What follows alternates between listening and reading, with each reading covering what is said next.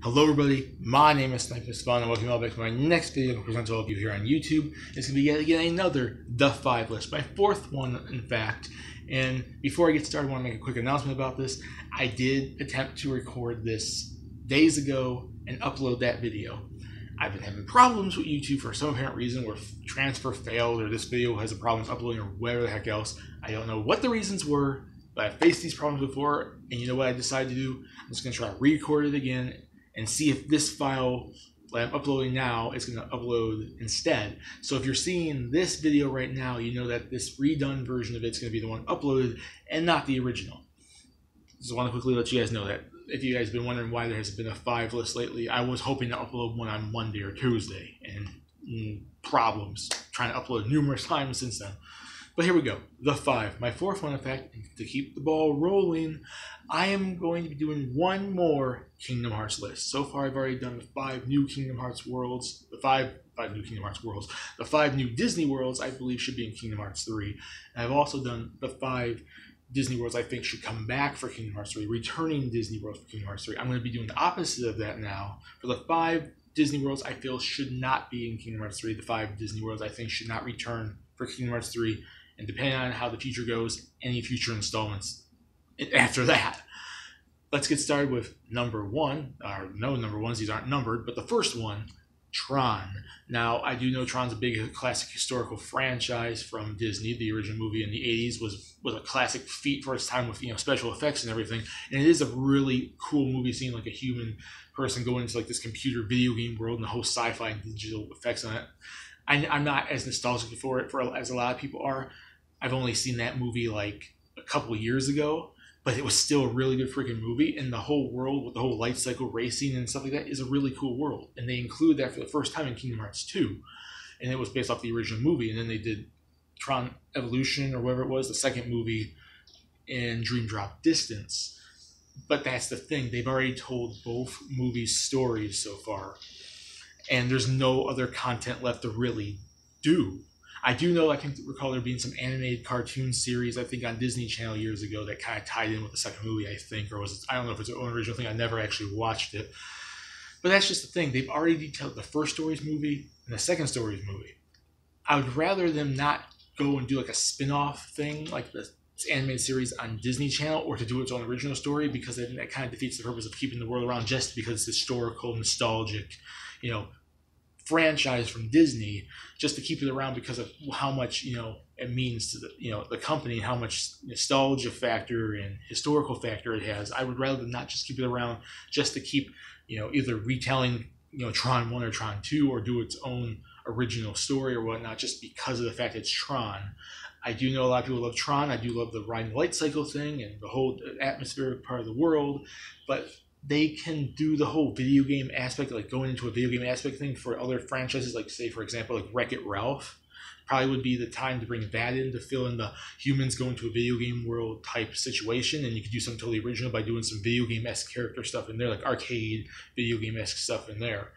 And the Tron world has already kind of had story told.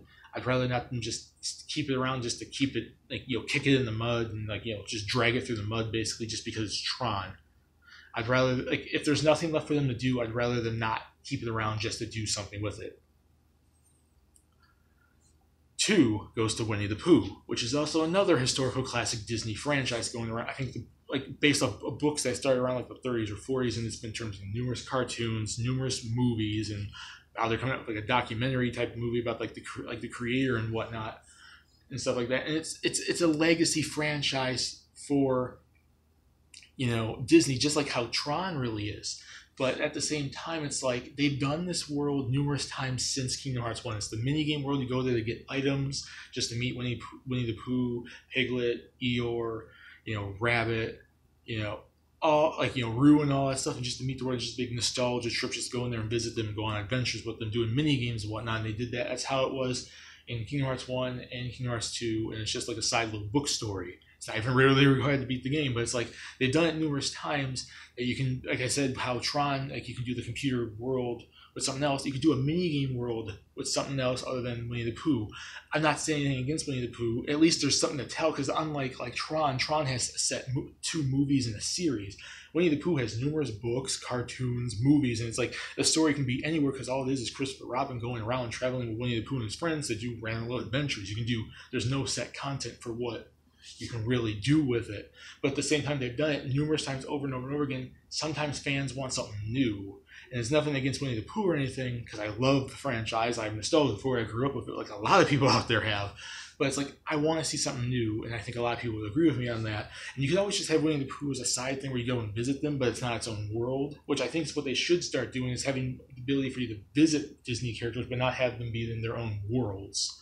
So keep Winnie the Pooh around, but make that mini game world some other either non-violent oriented Disney movie or series, or a small little Disney franchise that could at least fit into something there where it won't be a full big world, but it's like its own little mini thing. Three is going to go to The Little Mermaid. The Little Mermaid, they did the original story twice, in fact, with King Hearts 1 and 2. We've already fought Ursula in the, in the first one, and then they brought her back for the musical part of Kingdom Hearts 2. We've beat her twice. We've done the story of The Little Mermaid twice. All that's left now is pretty much Little Mermaid 2, which, you know, Ariel gets with Eric. They have Melody, their daughter. And Morgana, Ursula's sister, wants to come back for revenge, goes after Melody, and so on and so forth. The problem with that is it's not as, like, epic of a movie story as say the original was and especially not as classic of a movie story as the original was which was a really big movie from disney um, and also it's like it's like it's not one of the best direct to VHS stories that the Disney movies have actually had. So it's like if that's all that's left, and it's not the most epic story for that would fit for a Kingdom Hearts world, and also it's like it's not one of the best ones to tell anyways. And they've done Little Mermaid since day one. Really, that's all that, that they should cut it because if they're if, uh, if, if they're going to bring it back, be like, oh no, instead of doing um, Little Mermaid two, we're going to do the story of, of, one again and bring Ursula back. That's pointless because we beat her twice, actually three or four times, in fact. Um, they could do Ariel's beginnings, but it's like a precursor story, and it makes no sense because they've already done Kingdom Hearts, you know, in Kingdom Hearts one and two, like the original Little Mermaid story, and it would make no sense continuity wise there's nothing else left to tell. They can't tell the original again. They shouldn't do Ariel's beginning because it's continuity wise. It makes no sense. All they have left is Lion, uh, is uh, Lion King. I talked about that in the last video. Um, Little Mermaid two, and the story is cool and all, but it doesn't really fit too much of a Kingdom Hearts setting, and it's not really that big of a story to begin with, especially as a follow up to the original. No, nothing against Little Mermaid, but it's like it's been there since day one. If you want a world that has the totally unique, different controls, like the swimming controls, you could do that with anything else. If you want a world that has the mini game rhythm based music stuff, you could do that with anything else because Disney's known for their music. Time to cut ties with Little. I'm sorry. Four. And this is when I start getting into this. The fourth and fifth one are ones that really are truly hurting me to say because they're two movies and franchises I love a lot. But there's, like I said, like basically mentioned so far, there's nothing left for them, and it really hurts me to say this for these two. So these next two are the two on this list that I really, really hurt me to actually say on this thing. Four goes to Mulan. I love Mulan. It's one of my favorite Disney movies of all time. But just like I said with Little Mermaid, there is nothing to tell. They've already done the original story. They beat Shan Yu. They beat the Huns. They did the first movie story. The first movie story is epic in its own self. And Sora came in and helped Mulan, you know, rescue China, blah blah blah, from the Huns and Shan Yu and everything.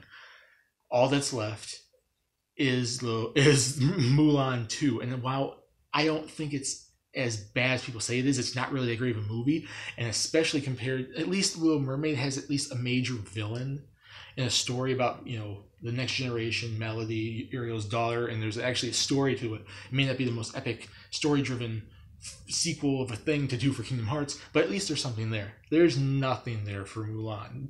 There's no major villains.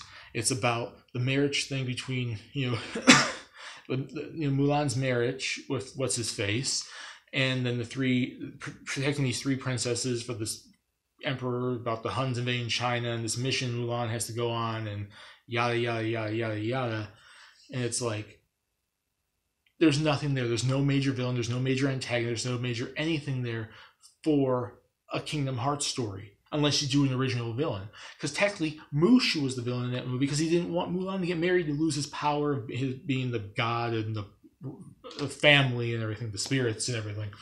So it's like they've done the major story, and though it's only been in one game, and I love Mulan so much, just no, I'm sorry. You can do other Disney worlds, and you gave Mulan its time to shine, but now there's nothing there with Mulan 2, and I would hate there to be the original story, and I would hate especially if they redid Mulan 1. Sorry.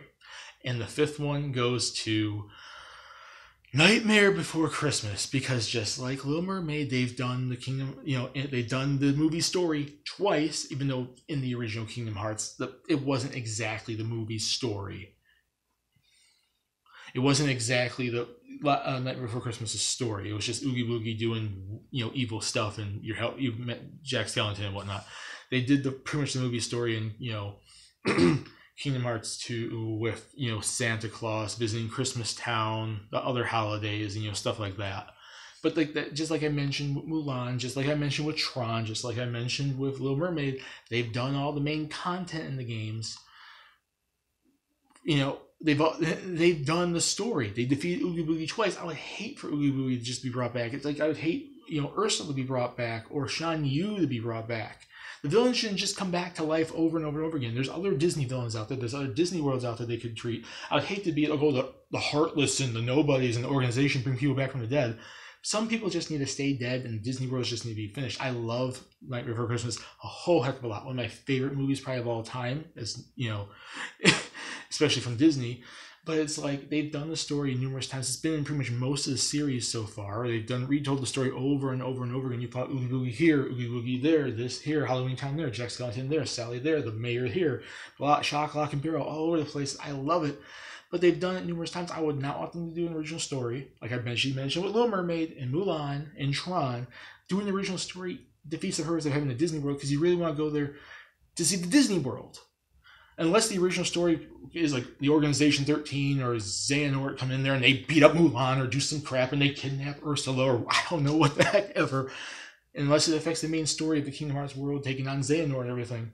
When you go to the Disney World, you want to see the Disney World. And we've already seen these worlds numerous times. And it hurts me to say Mulan and it hurts me to say like before Christmas.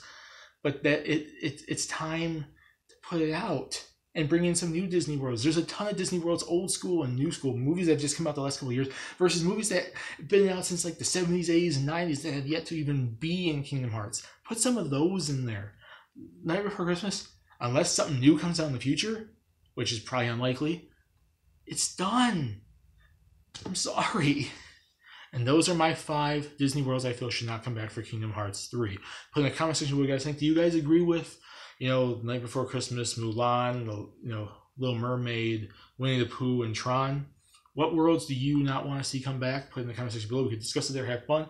And all you Kingdom Hearts fans out there, I hope you guys like this video, and I hope this one uploads unlike the original. So uh, enjoy it. Put in the comment section what you guys think, and see you all later in the next video. Bye.